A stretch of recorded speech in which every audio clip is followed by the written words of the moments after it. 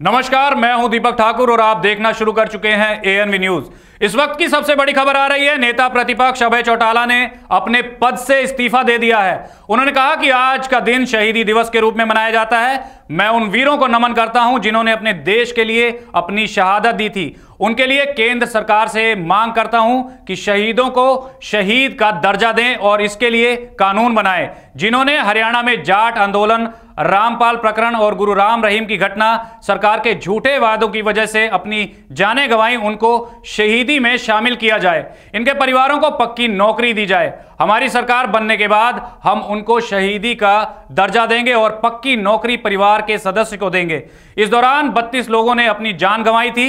नेता प्रतिपक्ष अभय चौटाला ने कहा कि जो चार विधायक जेजीपी को सपोर्ट करते हैं, उनके खिलाफ कार्रवाई के लिए स्पीकर को चिट्ठी लिखी है।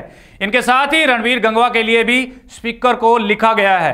आज हमने इन पाँचों को डिस्क्वालीफाई करने के लिए लिखा है और अब दुष्यंत के लिए कल लोकसभा को भी लिखूँगा, ऐसा कहना था अभय चौटाला का। अभय चौटाला ने कहा, जो हमारी पार्टी के खिलाफ गद्दारी करते हैं, वो दोबारा लोकसभा और विधानसभा का दरवाज़ा नहीं देख पाएँगे इस देश की आज़ादी में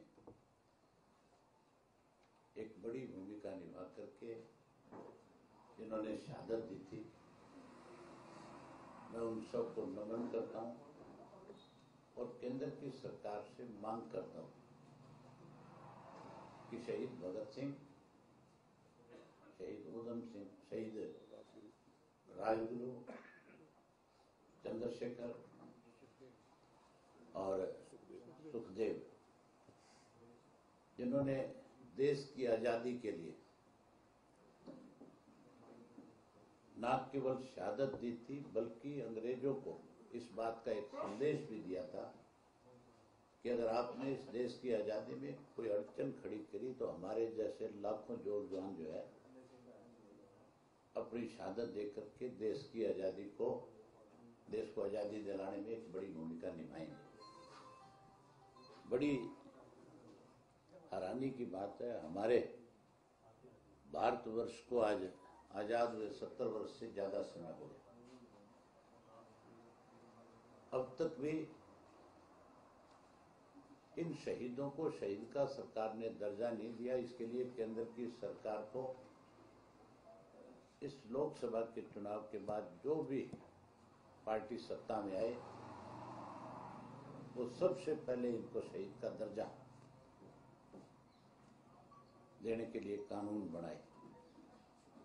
सरकार की बेकायदगियों की वजह से, सरकार के झूठे आश्वासनों की वजह से, सरकार ने जिन लोगों को आंदोलन करने के लिए मजबूर किया, चाहे वो जाट आरक्षण आंदोलन का इशू था, चाहे वो रामपाल महाराज की बात थी, और चाहे वो डेरे के अनुयायी जो यहाँ पे पंचकुला में आए थे, उनका मामला था। जाट आरक्षण आंदोलन के दौरान प्रदेश की सरकार ने बारी बारी से आंदोलन करने वाले लोगों के साथ बैठ करके बैठकें करी और उन्हें बारी बारी आश्वासन भी दिया और आंदोलन को कैसे वो आंदोलन आगे ना चले, कैसे लोग अपनी मांग ना रखे, उसको टालने के लिए आश्वासन भी दिया और उसके साथ साथ दूसरी तरफ़ अपने लोगों की पीठ पे हाथ रख करके उनको उकसाया भी गया। और जब ये आंदोलन शुरू हुआ तो इस आंदोलन के अंदर 19 तारीख को सरकार ने जब सर्वदलीय बैठक बुलाई थी, उस बैठक में जो निर्णय सारे प्रदेश के राजनीतिक लोगों ने बैठ करके मुख्यमंत्री के साथ लिया, अगर उसी दिन जो अंदर बैठ करके बात हुई थी, वो आप लोगों के माध्यम से प्रदेश के लोगों में एक संदेश दे देते तो फिर बत्तीस इनोसेंट बच्चे मौत के घाट नहीं उतरते।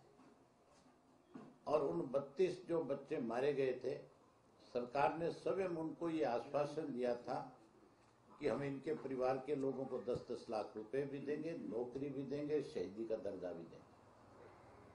विधानसभा में जब उनको शोक प्रस्ताव में शामिल कर लिया गया और उनके परिवार के लोगों को दस दस लाख रुपए दे दिए गए तो फिर उन इनोसेंट लोगों को भी शहीदी का दर्जा मिलना चाहिए, उनको भी इसमें शामिल किया जाना चाहिए। जहाँ इनको शामिल किया जाए, वहाँ इनके परिवार के एक एक बच्चे को। इन्होंने अब तक तो जो रोज़गार दिया नौकरी दी इनके परिवार के किसी मेंबर्स को वो केवल और केवल डीसी रेट पे दे रखी नेता प्रतिपक्ष अभय चौटाला ने कहा कि मैं अपना रिजाइन लेटर स्पीकर को भेज रहा हूँ और मैं आज से नेता प्रतिपक्ष के पद से इस्तीफा देता हूँ। मैंने भी स्वयं स्पीकर को एक और चिट्ठी लिखी है मेरी तरफ़ से कि जैसे आप इन पंचों को डिस्क्वालीफाई करो मेरा रिजाइन भी आप साथ के साथ मंजूर कर लेना। मैंने भी अपना रिजाइन लिख करके स्पीकर को भेज दिया। हैं? एलओपी से और के एमएलए से ढुलाई दूँगा। तुम क्या सोचो मैं इनके साथ शहीद हो जाऊँगा। ये तो उंगली कटा के शहीद होने वाले हैं, सारे के सारे।